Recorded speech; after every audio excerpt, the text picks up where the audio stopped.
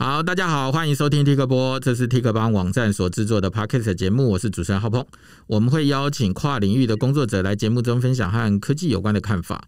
那在节目开始之前，如果你还没有订阅我们的节目，请记得按下订阅钮。那在节目开始之前，先跟大家提醒一下，因为 NCC 规定我们在网站上的文章，如果是十八禁的，都要有出现提示的符号，确定读者年满十八岁才可以再继续阅读。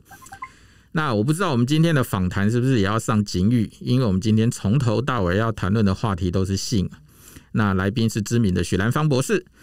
呃，许博士在几年前开始在脸书上发表性教育的知识，接着也在 YouTube 频道发表相关的影片。那去年七月出版了《大人的性爱相谈》这本书，把性的正确观念带给大家。那今年在城邦自慢熟的线上课程平台也即将上架《大人的性爱相谈》。今天我们就请许博士来和我们大家谈谈大人的性爱相谈。许博士好，请和我们的听众朋友打个招呼吧。嗨，大家好，我是许兰芳。呃，博士，请问一下，你为什么想要开这个线上课程啊？你是说这本书的吗？对啊，对啊。呃，应该是说我对性教育这个东西。一直我一直很想做性教育这件事情，但是我本我一开始其实并没有很远远大的目标，说一定要做到什么程度。我一开始只是觉得有需要有人出来讲这件事情。那因为在我们的社会文化里头，这种事大家通常是不太谈的。对，但是因为在我的研究里面，跟在我咨询的个案里面，我发现。错误的认知很容易造成不必要的误会，不管是两性之间、朋友之间、家人之间，甚至自己跟自己之间的误会都有可能。那我就会觉得这些，我会觉得人一辈子就这么短，过一天 就离坟墓更近了一天。为什么我们要浪费时间在嗯误会或者是没有意义的事情上面？那我就会觉得嗯。因为我当然知道，对华人来说，性是很难启齿的事情。那在亲密的人当中，我们也不可能真的、真的就是开放到跟亲密的人完全坐下来，很 open mind minded 的去讨论任何事情。那我觉得我很乐意当这个第三个人。因为你之前其实，在传播性的教育的工具上，你使用过的已经是有书籍了。那可能也有用社群媒体啊，那现在又多了一个线上的课程，你觉得这些不同媒介的形式对你要传达的内容有什么不一样吗？有什么样不一样的做法？嗯，内容其实大同小异，应该是说说话的深浅吧，内容的深浅可能会不一样。跟我当时想要传达的，因为其实我。我不管录东西、写东西，或者是不管是录影啊，或是线上课程，我都是没有脚本的。啊，都没有脚本，我都没有脚本，所以我每一次录、每一次讲的字句不会一模一样。嗯哼，对，不可能一模一样。那嗯，但是不同的途径会有不同的接收的 TA，不同的群众嘛。嗯哼，因为不见得每个人都会看书。不管是电子书也好，或是呃那个实体书也好，就是有些人就是会看书实体书，有些人就是会看电子书。那至于线上课程呢，我会觉得，如果有人不敢跟旁边的呃年纪到的小孩，或者是学校你不好意思啊，学校老师不好意思教的话，其实我觉得是可以买这堂课在学校教室放给学生看。就是起码有一些哦，你还你还可以公开放映哦。我记得我那个年代，我这个年我我那个年代上那个健康教育的时候，是男生全部出去，男生去操场上打球，然后只有女生在教室上课。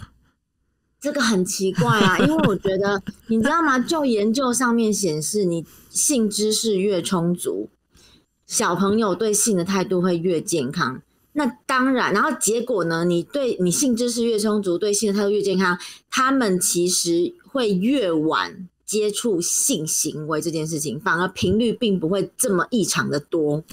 因为在这个在现在这个时代，很多人的性知识的来源大概都是 A 片了。我说男生啊，男生，对对对。那你觉得透过 A 片来了解性会有什么问题吗？嗯，我做个比喻好了，就像如果从小都没有人教我们社会，那我们都是从电影上面学习。你觉得会发生什么事情？可能大家都是拿枪来打了嘛，不爽就一拳揍过去，不会有人想要沟通。对，因为电影我们大家都知道世界上没有英雄，但是那个只是满足我们某一些情节，或者是一些打打杀杀、打打闹闹，或者是两个人的情爱、琼瑶式的那些情爱，都只是放大我们的感官、我们的感受，因为。它必须放大，我们才能强烈的感受到哦，他们要传达的是什么。嗯哼，所以 A 片也是，它必须放大他们的行为，放大那个声音，才能让你理解到哦，原来他正在开心，他正在怎么样。但是真正的人跟人之间的相处，并不会这么戏剧化。嗯哼，对啊，就像我们在流泪、在难过的时候，其实都是很内、很内化的、很内心、很内敛的东西。所以，如果他今天从 A 片上面去看的话，他可能会觉得自己怎么没有那么久，怎么没有那么长，怎么没有那么干嘛？所以这些东西都是错的。对，就会你把它转成两性，其实就会很简单，就会变成说：哎，你吃东西，你吃东西怎么会没有电视那种烤烤烤的声音出现？这个食物是不是做的不好吃？为什么电视好吃的食物都会烤烤烤，都会有咔咔咔的声音？或者是，哎，为什么电视演女生伤心都会啜泣，都会难过？你没有哭，你是不是不够难过？嗯哼，就是会用电视上面的比较艺术形态的影像来当做标准，希望我们人好像要达到那样的标准，其实有一点不太不太对啦。所以，当今天这个作品被呈现出来的时候，其实是经过了设计、经过了剪接、经过了表演。当然啊，因为你想啊，如果对啊，因为假设你看哦，如果今天电影它就就是播一对夫妻在家里，然后柴米油盐酱醋茶，早上送小孩上课，下午送小接小孩回来，然后吃饭，然后做作业睡觉，这电影谁要看？不是吗？但但是大家每天都这么过日子啊。对，可是我们的生活就是这么无聊啊。对啊，我顺便问个问题啦，就是说，性其实一开始都是物种在繁衍后，都是在繁衍后代哦。所以以前人类的做爱时间很短，因为他要赶快赶快做完，然后不要被其他的动物给猎杀，所以时间很短，能够完成繁衍后代这个功能，其实就 OK 了。对，那到底是什么时候让性这件事情加入了繁衍以外的意义？大家把它变得更？更有乐趣，加进去更多的道具，或者让它有更……它它什么时候开始发生改变呢？应该是说，我觉得它其实一直都存在。是什么时候我们意识到性里面可以有爱这件事情？嗯所以我的书才会写性爱相谈，不会写性相谈，或者是爱怎么样？对我来说，我觉得性跟爱它没有办法分离。有些人就会说：“哎，就生理角度，有有些人就是可以没有爱啊。”但是我没有要讨论这个东西，我要讨论的是真实人类生活当中，我们的人的依附理论，我们就是会渴望跟人靠近的。我们在两性关系里面，就是会渴望跟亲密的那个人。因为爱而产生性，或者是因为性而产生爱都不一定，这是我觉得是两个相辅相成的东西。那当然，性它应该说性它有一个中一个目的就是繁衍后代，这个以这个是以生物的角度来说。那另外一个呢，我们呃，您应该有听过本我、自我跟超我嘛？嗯。本我就是我们现在讲的，这是我自己的举例啦。本我就是我们现在讲的生物论嘛，就是繁衍后代，这就是所谓人的兽性。你有欲望就会想要上某个人，你饿了就想吃，不管那个东西合合不合法，你是偷来的还是就是想吃这样。那超我就是我们学到的道德观嘛，就是圣女圣女贞德。或是柳下惠，我们的人不能有七情六欲，我们要很神圣的看待这个东西，叭叭叭之类的。但是一个是兽，一个是神，但是我们都忽略了，我们是人，我们并不是，我们是生物的一一种，但是我们并不是动物，我们不是为了繁衍后代而存在的猫或狗或者是什么之类的。我们是比他们多了灵性的一个动物，叫做人类。嗯哼，哎，在那在你自己的研究里头，除了人之外，还有其他的物种会把性当娱乐的吗？哎、那个应该要问生物学家才对。就我所知，应该是有，但是我不知道是什么动物。好吧，那对，在我们华，其实，在华人文化里头，都会要求不要有婚前性行为啦。那有一些宗教大概也都有类似的交易啊。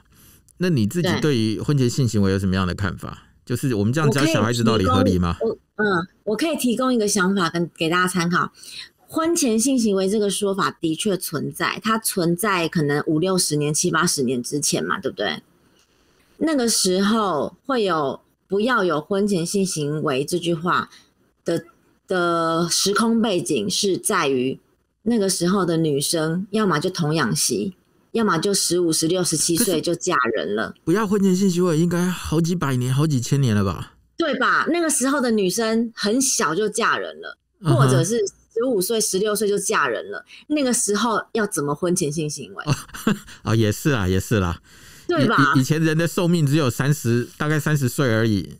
那对啊，或大概者是四五十岁，你那对啊，你你十几岁就嫁人了，你要怎么婚前性行为？那个时候人的第二性征都还没出来，你要怎么嫁人？你要你要怎么性是哎、我行为？从来没想过这问题哎、对啊，那个时候我们现在已经是比较早哦，大概十岁到十二岁开始。我那个年代的第二性征就是青少年，大概是国中十三岁，现在大概是十岁。那你看，几在更早之前，他们的第二就是在那个青少年可能要十四十五岁吧，我猜啦。嗯哼哼哼可是他们在十四十五岁之前就嫁人了，而且都是那种指腹为婚，根本没有情感基础，就是你就是去他们家当媳妇。那这样子怎么婚前性行为？哎、根本没有这件事啊！对，这是我第一次对有有意识的可以想象这件事情。以前的人的生命只有三十岁左右，所以他们大概十二岁到十五岁左右就必须要嫁人生小孩了。啊那如果你还要求他婚前性行为，哇，那可能时间要更早了。对啊，那个时候有些婚前性行为才奇怪吧？那但是现在你想哦，现在的婚，现在女生都四十岁，还有的没结婚，你要她怎么样不要有性行为？就靠神性啊！对呀、这样很不合理呀、所以我觉得很多话的，就是很多话的确有它的存在的意义，可是它的时空背景跟现在完全不一样啊。嗯哼哼哼，如果现在的小孩，你看哦，不要婚前性行为可以啊，他们就是当小爸爸、小妈妈，他们也没有婚前性行为啊，直接当妈妈啊。所以你自己对于整个婚前性行为这件事情的看法是觉得有需要就可以吗？还是我觉得还是要看个人意愿，因为这个其实没有答案。没有答案但？是我觉得我们有，我们务必应该说教育者，以我的身份，我会跟小孩子说，性这件，应该说性行为这个东西是什么时候可以发生，或者它发生之后会会有什么样的后果，会你必须要做什么样的负责。全部的知识都让小孩知道之后，让他自己选择负责。你觉得这你刚讲的这个小孩大概是年纪多大？当我们人开始有性欲的时候，是青少年的时候。青少年之前，人根本不会有性欲。小孩子他，所以他们根本不会有欲望，就不会有性，不会想跟人做爱，你知道吗？他不会，他们脑子没有这个东西，因为那个时候他根本还没有荷尔蒙的产生。所以你刚讲说，应该要让小孩子或者是青少年有一些正确的，你你把该我该你该知道的事情我都告诉你，让你知道事情的前因后果。那如果你有怎么样的事情发生，你可能必须有承担这样子的一个结果。对对对对，那这整个过程当中，你觉得，嗯，对于性来说，生理成熟比较重要，还是心理成熟比较重要？都重要，但是就我们的人的的发展，生理会比心理早成熟。在国中的时候，我们的国中生理已经成熟了，男生的睾丸、阴茎都已经长完了，但是国中高中生的心理成熟了吗？并还并没有。所以这个就是性教育很重要的原因。怎么样在他们生理成熟，他们已经开始有性欲，想要找人做爱，想要自慰的时候，我们要教他们怎么样正确的抒发，怎么样去做健康，怎么样健康的去做这件事情。那你看，像现在，呃，怎么说？像现在，你其实在路上，你有时候可以找到一些情趣商品用情趣商品的商店，那里头就有各式各样的情趣商品。嗯，那我们常有时候也可以在新闻上看到有一些人哦。乱用东西，然后搞到去就医这件事情。嗯嗯，你觉得在所谓的性行为这整个过程当中，使用这些所谓的情趣商品，你你你建议吗？或者是有没有要提醒大家的？我用一个比喻给你听，你应该就会比较了解了。在使用这些用具之前，我们必须还是要有基本的知识，因为我很喜欢把性欲跟食欲拿来比较。比较的不是它的频率或是使用方式，因为本来就不能比，而是这个我们人对食欲跟性欲的渴望是一样的。那个一样的意思就是说，当这个欲望来的来的来的时候，不是我们说不要它就会走开的，我们只能靠我们自己的意识跟控制去与它共处。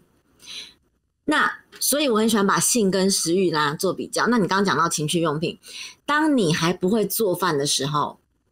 你还不知道火怎么开，你还不知道饭怎么煮，你还不知道菜怎么下，你就去参加厨房的厨具大展，买一堆用具回来，你会用吗？嗯，就瞎弄吧。对啊，但是当你会做菜，你已经够厉害了，你才会去买那些东西回来用吧。嗯哼，对啊，这就是我我的立场，就是没有一定要用情趣用品，但是当你。已经纯熟到，或是你们两个人之间已经互相了解到一定的程度了。情趣用品它的存在是用来加温或是辅助用的，它不是一个一定要或不不呃不能存在的一个东西，就像厨具一样。好的锅子一定要存在吗？不一定啊，你只要东西可以煮熟就好啦。但是如果我是一个很讲究吃的人，我想要买好锅子，不行吗？可以呀，你有钱就去买啊。你知道我会问这个东西，其实也包含着说，因为现在一开始其实我们都知道有所谓的情绪娃娃这种这种东西，然后这种东西其实也越做越逼真。不管是在材质或什么东西上面，那现在甚至还有人会把 AI 都加进去这种情趣用品里头，AI 型的充气娃娃，嗯，然后可以做各种的设定，还可以跟你对话，然后做的很像人一样，嗯嗯嗯。那你知道有时候，当然有时候在网络上大家会在那边瞎开玩笑了，就是当以后那个找不到另外一半的时候，起码你还有充气娃娃可以买啊，嗯嗯嗯嗯。那你觉得真的找不到另外一半的时候？充气娃娃是一个好选择吗？如果真的找不到，也只能这样啊，或者你靠自己啊。其实跟煮饭是一样的。如果假设你不会煮饭好了，你你你不想靠自己，那你又要吃饭怎么办？你要么就叫外送。如果有些人哦不行，我没有办法接受外送外卖，那没关系，你就找一个煮饭阿姨来嘛，照三餐煮饭给你吃嘛。嗯哼，一样的意思啊。你就是有一个你你你专属的娃娃。你你自己用没有没有不行啊，重点是你的欲望有同等的被满足就好了。只是人的满足跟机器的满足或娃娃的满足，或者是不同方式的满足，看每个人怎么定义。有些人喜欢外外送的满满足，有些人喜欢外卖的满足，有些人喜欢家里面人的满足，有些人就喜欢机器，有些人喜欢玩具，不不一定。对啊。对，所以现在有些人会选择跟二次元的人物结婚嘛？对啊，那是 每个人喜好不同啊。那现在有一些情侣，其实哎，这这社会新闻常看到了啦，就是有些情侣会互拍亲密的影片，然后等到将来分手之后，就被拿来当做威胁的工具，或者有一些是不小心外流，然后造成了某种的伤害。嗯嗯嗯，你对于情侣在拍这种私密影片的事情有什么样的看法？我觉得这个也是要回归到性教育，因为其实性教育不是只有性行为教育而已哦。性教育它从小就要开始，它里面我觉得我自己觉得最重要的就是尊重跟隐私。嗯哼，你一旦从小有被灌输必须要尊重跟保护自己或对方的隐私的时候，当你已经有。尊重自己跟尊重别人，还有保护自己跟保护对方的隐私的前提之下，你们两个在互相彼此同意的情况下做了这件事情，那么后面发生什么后果都是自己要承担的。那这个就已经没有什么建不建议好不好了，那是他们两个的选择了。我们旁人只能做好教育这件事情。哇！但是我觉得在我们这社会里头，其实有点难的。所以一定要总总要有人做啊！你不做，永远都只能落后啊！你看我们以前亚洲式小龙，现在已经不知道去哪里了。不不，现在已经啊，算算算，这个讲起来令人难过。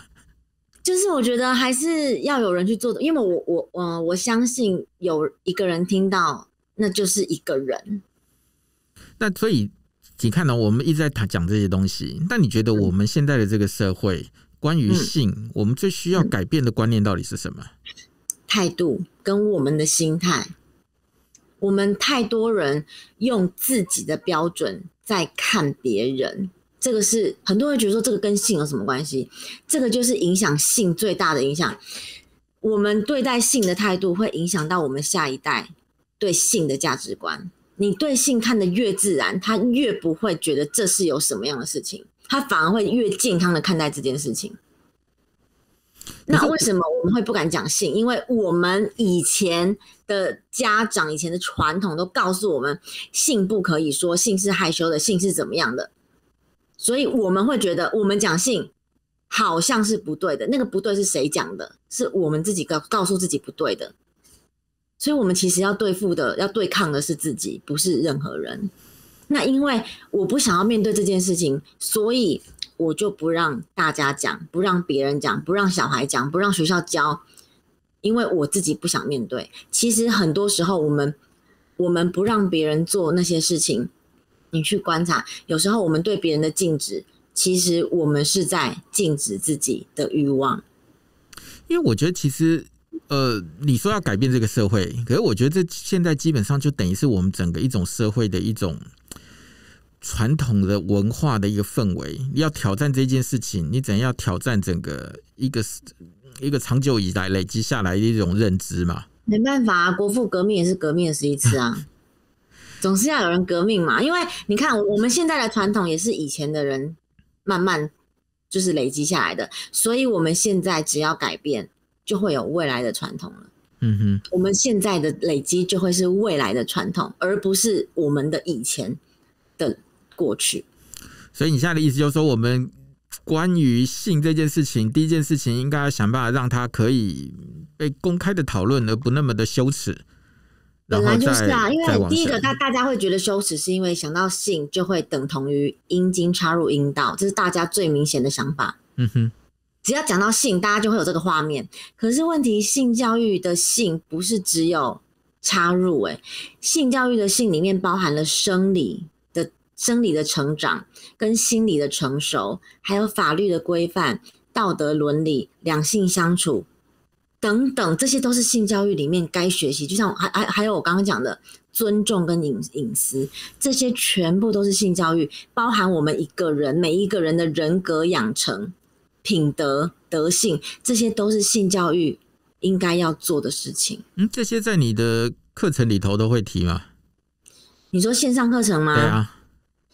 呃，我不确定有没有提到，因为我还在我还在看，因为我讲太多东西了，我不确定在课程里面有没有，应该都会有啊，多少都会讲一点。因为那是你观你你你你根深蒂固的观念了吧？你要你要传教的东西。对对。那我们一直就是我们从节目开始到现在，大概已经过了二十分钟了，我们一直在讲性啊、性行为啊，那嗯。你看哦，从一开始到现在，我们讲的性都一直没有在讲做爱啊，不是吗？对对对，但我的意思说，像性，所以如果按照这个逻辑下去的话，它也可以有无性的爱情或者无性的这种亲密关系吗？我说没有性行为啊。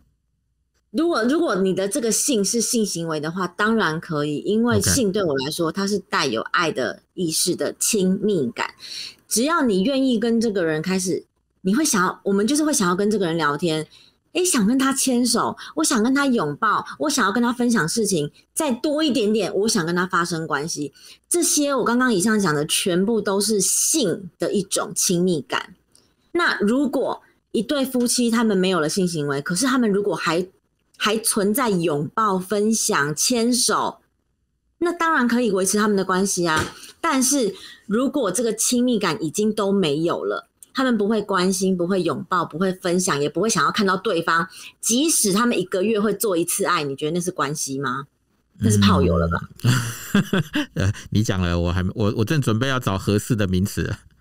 对啊，所以我觉得最重要的是两个人夫妻或两性之间到底维系关系的是什么？其实不是性行为，性行为是一个成果。所以你关系够好，自然会有性行为出现。那这个关系要用什么维持？用亲密感。那这个亲密感也就是我们所谓的性。所以你刚谈到炮友这两个字，嗯，现在网络上有很多人也是这样子，透过一些 app，然后就互相出去发生性行为。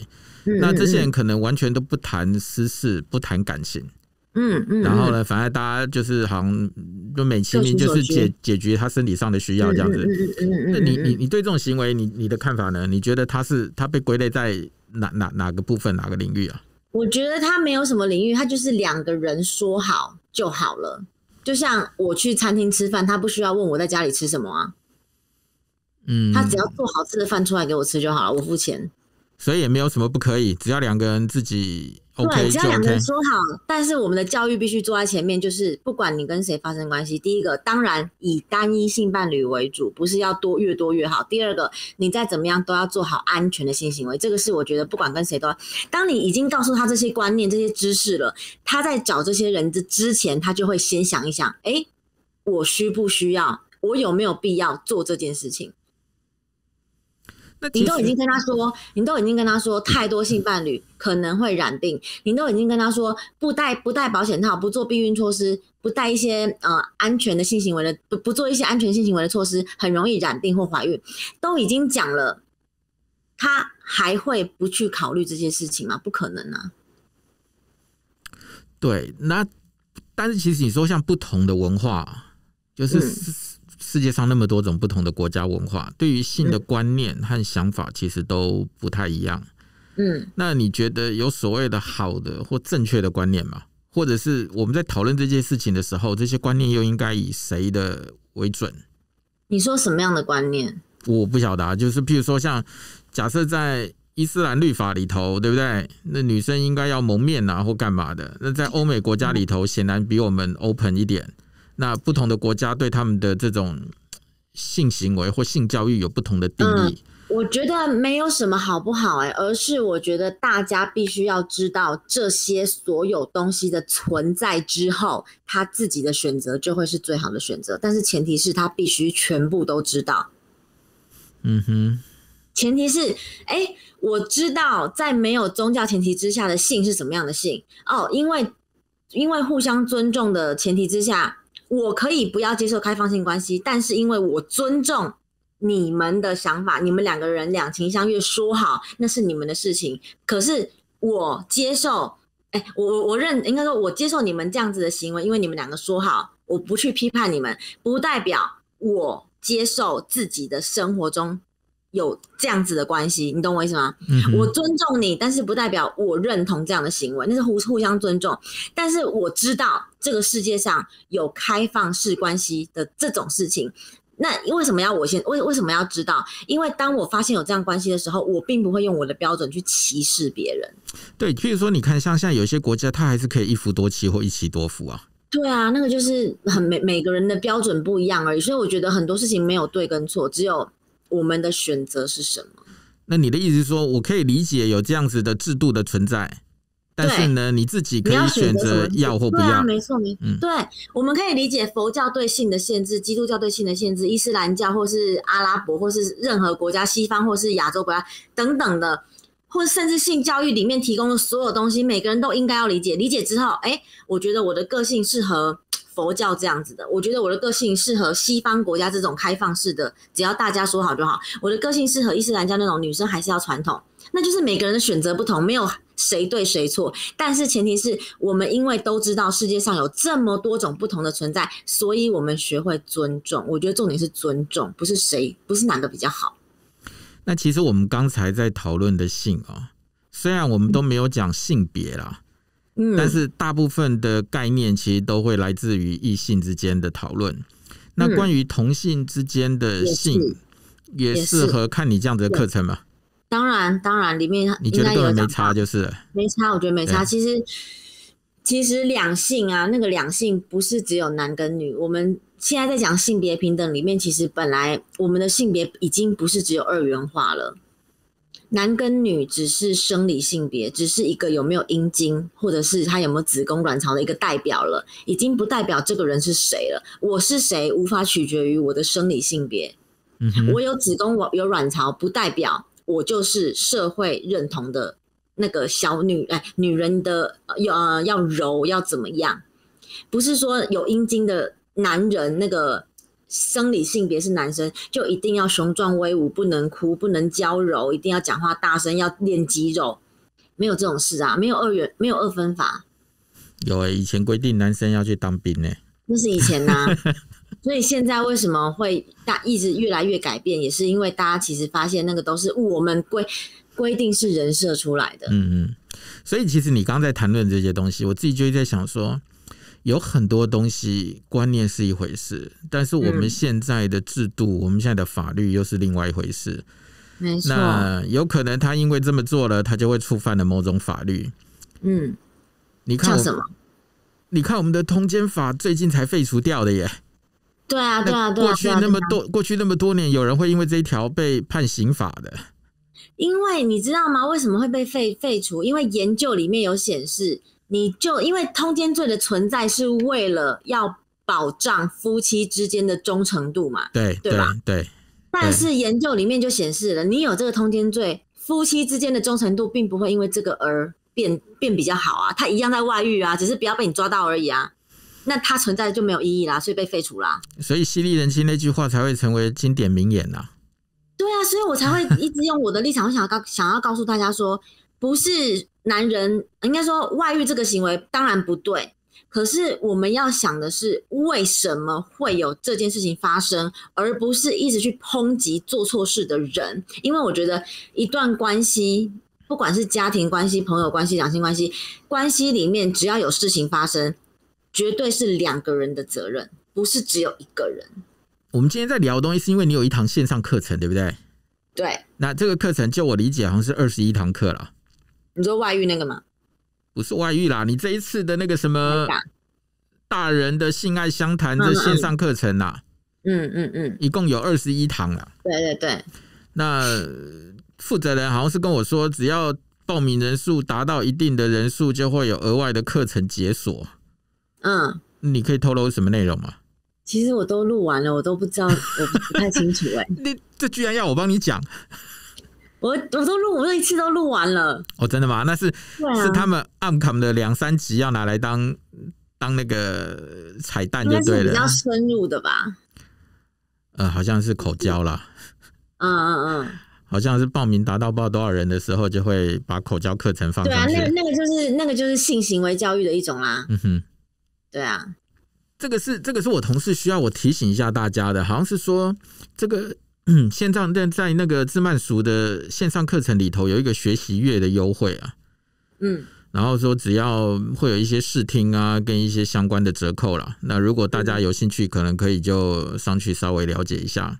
嗯，然后好像说你你的这个线上课程也适用，也适用。对，好像说结账满千送三百之类的，还可以抽、哦抽一堆小礼物。嗯哼，蛮好的。对，反正就我是是有觉得这个线上课程可以去学校推广哎、但是就不用加送后面那些比较限制级的了。可这样不行啊！不你不是应该要推广大方讨论，怎么限制级的就不就不行啊？没有小朋友哎、性教育，哦小朋友性教育。对啊，可是你学校老师不讲，我们可以自己播啊。你这个写的是大人的性爱相谈，应该要录一个小朋友的性爱相谈。讲一些呃高潮啊或什么的那些，我觉得是可以给大学生看的。没有，我觉得以前我们对于这个地方真的是讳莫如深呐、到了健康教育的这一堂课以后，就是大家自己看吧，对啊，然后不然就是。嗯有时候就是把男生叫出去，把女生留在教室里头，男生就出去打球。那男生也乐得出去打球了。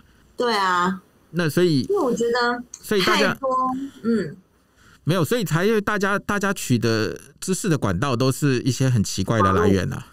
对对，没错没错，以前是网络，呃，现在是网络，但以前就是一些很、，A 片。很很奇怪的东西。以前 A 片还不容易看，以前要找黄色小说，啊，然后买一个黄色小说要跟去那个跟那个警察斗法一样，你可能要哦去光华商场，对不对？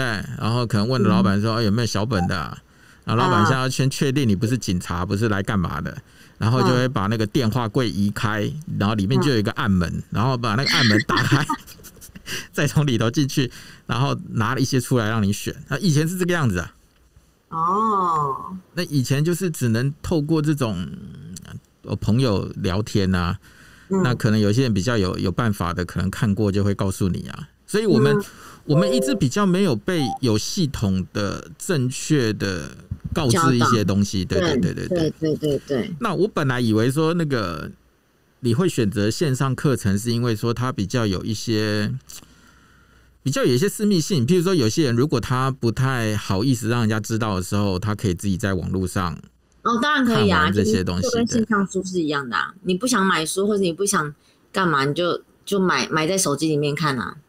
对啊，就是有一些像以像电子阅读有一个额外的好处，就是别人不知道你书柜里有哪些书啦。对，就是你书里面，如果你不想看书，你就买电子课程用听的啦。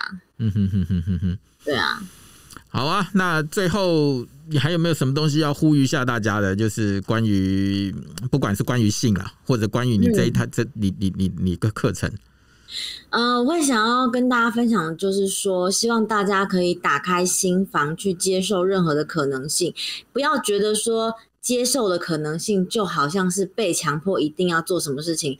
永远都不要忘记，只有自己能够决定自己要做什么事情，永远没有别人可以强迫得了你。但是这些知识，你是必须要知道。你知道你可以不一定要选择，可是你知道的话，那是对我们都是有帮助的。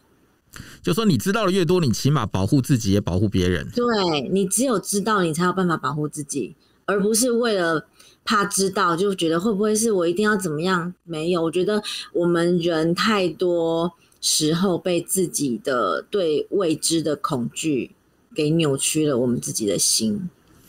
所以这些东西在你二十一堂课里头，可以给大家一个有系统的整理或教学，让大家有一个完整的观念。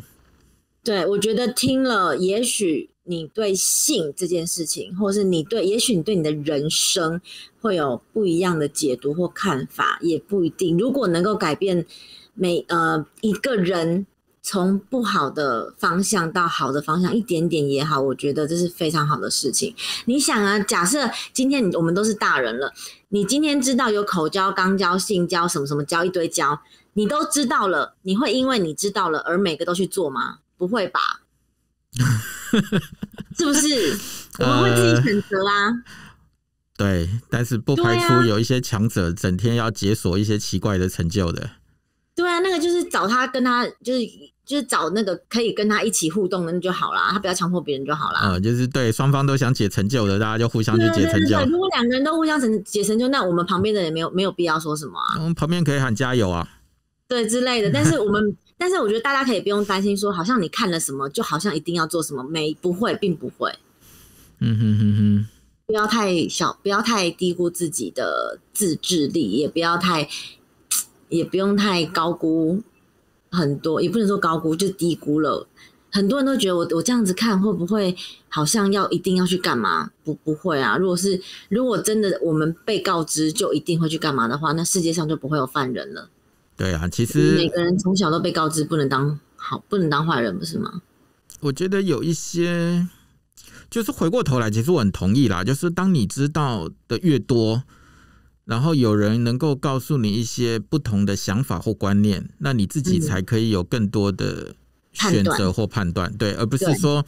呃，今天好像就是我我我不知道，所以呢没有办法怎么样之类的，然后建立一些奇奇奇奇奇怪怪、模模糊糊的的的想法，然后等到事情发生了以后，嗯可能有些结果是你没有办法承受的。没错，因为我们知道越多，我们可以把那个主导权拿在手上，我们可以去选择。当你什么都不知道的时候，你只能被选择。嗯哼哼哼哼哼。嗯，好，那最后就是说，如果有人对于这堂课感兴趣的话，你可以去搜寻“自慢熟”，然后“大人的性爱相谈”这几个字，大家就可以找到这堂课的相关的资料。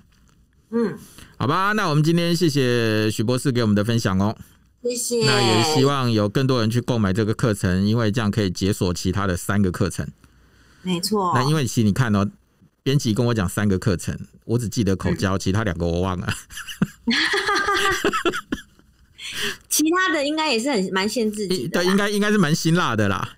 我记得是限制级的，对对，但是因为毕竟我们还是华人社会嘛。对，这个这个我比较这这个就印象深刻，所以我只记得这个。那大家想要知道解锁两个，因为上网去搜应该是有的。我们今天就谢谢许博士的分享，谢谢，也记得听众记得帮我们按个赞哦，然后订阅我们的节目，谢谢谢谢大家，谢谢谢谢，拜拜，拜拜拜拜。